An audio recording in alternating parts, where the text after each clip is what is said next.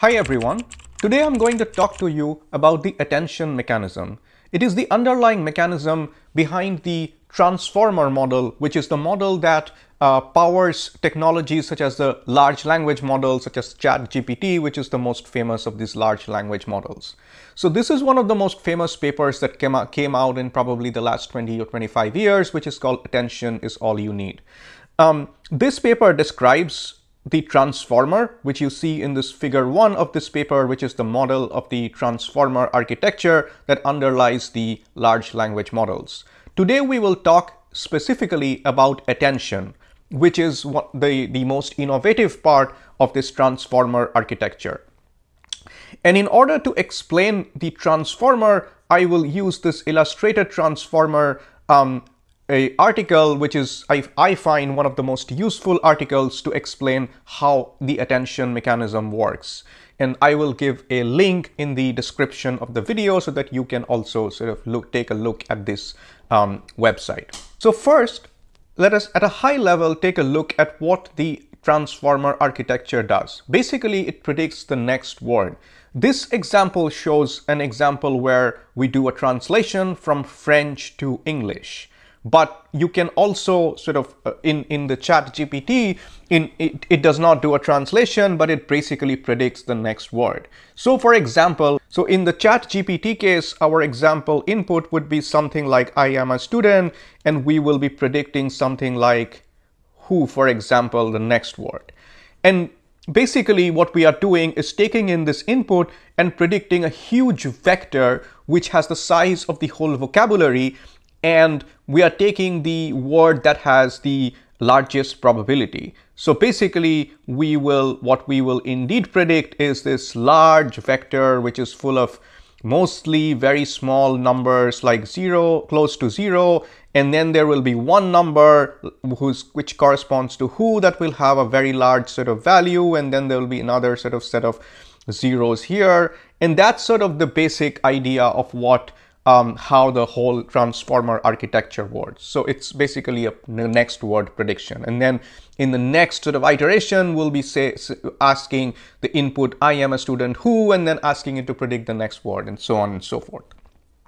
So with that sort of general idea of how the transformer works, let's shift our gear and try to understand attention.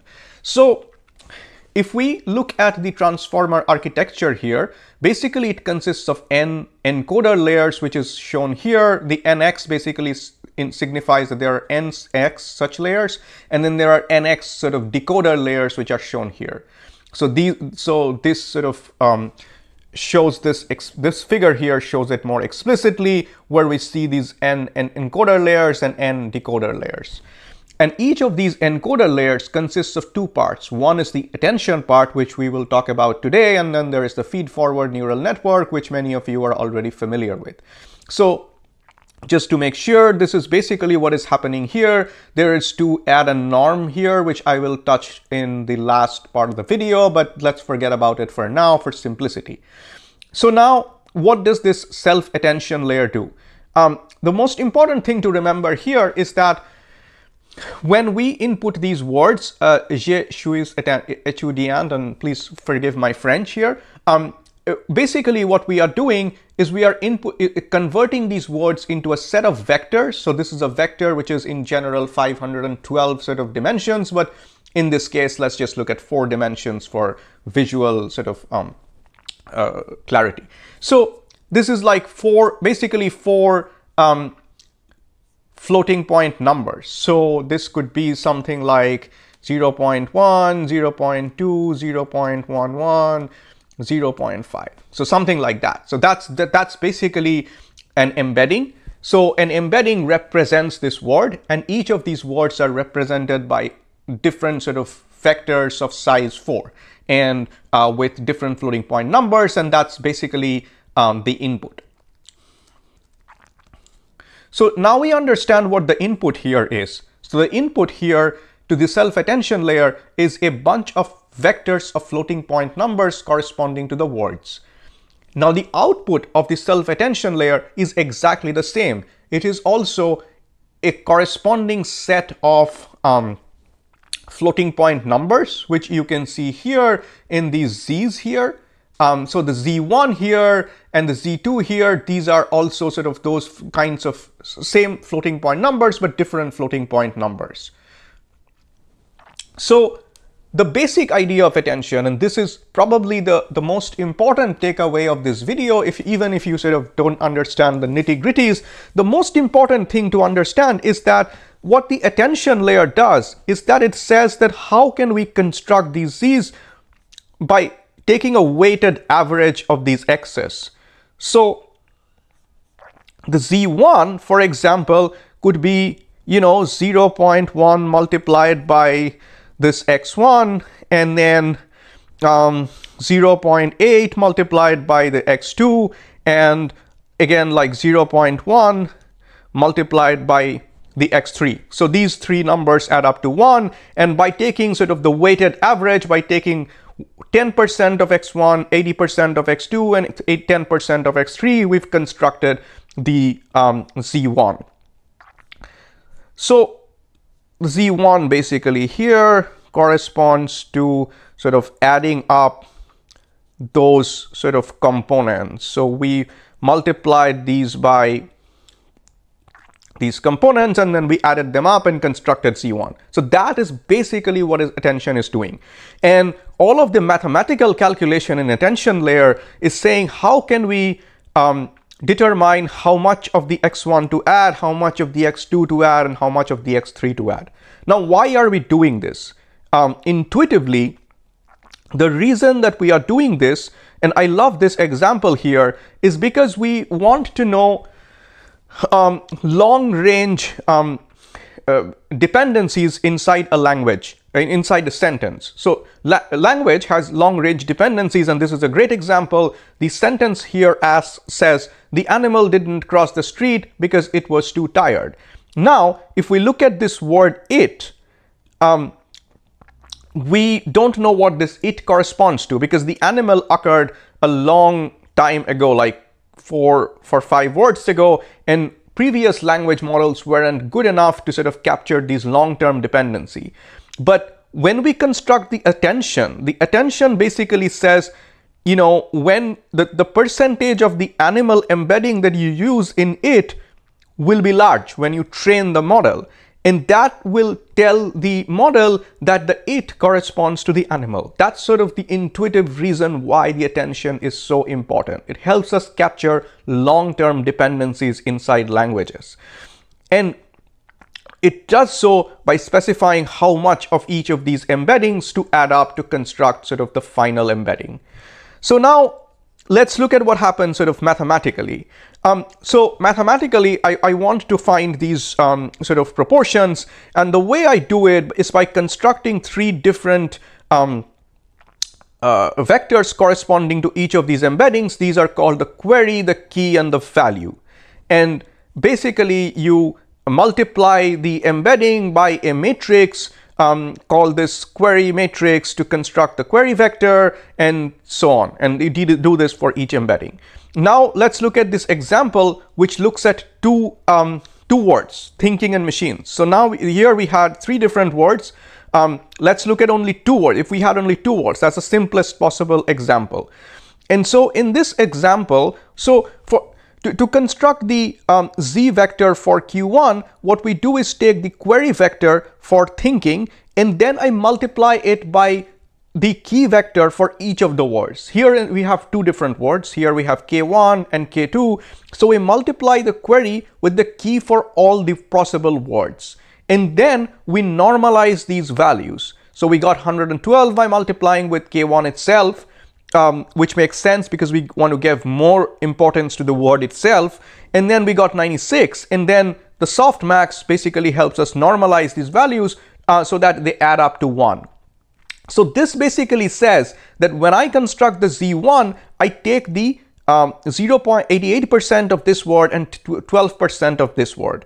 And I take these value vectors and then I multiply these value vector by 88, this value vector by 12.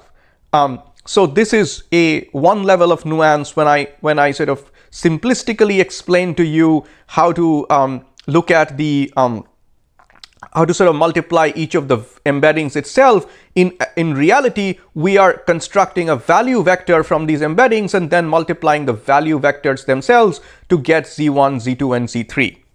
So, um, so we've done the hard part. We've multiplied the value vectors and we have got so, so we have in, in for the thinking, we've multiplied the value vector v1 here by 0.88 and the value vector v2 by 0.12 in order to obtain z1. And that is basically what attention is doing. And I won't go into detail, but you can basically take all of the words in your um, like the three words that we had for example in a matrix and do the instead of doing this sort of one by one you can construct uh, all of the um, vectors instead of constructing them um, one by one, you can do one single matrix multiplication and construct all of the query key and the value vectors, and then you can sort of do a matrix multiplication to get all of the Z's. Now let's come to um, uh, So if you look at figure 2 here of the paper, you will see that this is exactly what is described here. So we take the query and the key vectors, we, multi we multiply them, um, which is we uh, after doing the multiplication we scale them which is what we showed here. And then we I, I will not talk about the mask here but and and then after that after our scaling we basically take and like multiply that the, that sort of scaled value which is the 0.88 and 0.12 we got with the value vector here. The final part that I want to talk about is multi-headed attention so we might want to give more expressivity to the model by letting it give more weightage in different to different words in different sort of um, uh, in different attention heads. So basically we apply instead of having one such um, self attention here, we apply like multiple sort of self attentions. And this is the idea of multi-headed attention. So in the first head, we construct one Z0. In the second head, we construct another Z and we construct sort of seven such Zs or eight such Zs, and then we simply concat them together. And that is multi-headed attention. Um, there are a lot of things that I did not talk about in detail. One of those things is positional embeddings. Um, maybe just to mention in one word, uh, there is no way for the model to know that, you know, uh, uh, je is the first word and switch comes after je. In order to provide that information, we use these embeddings called the positional embeddings, which are basically some um, set of vectors which encode uh, 0, 1, 2, and so on. And then that is added to the embeddings themselves. And then finally, we construct the uh, sort of uh, so send them to the encoder. So, so that's, that's basically attention in a nutshell.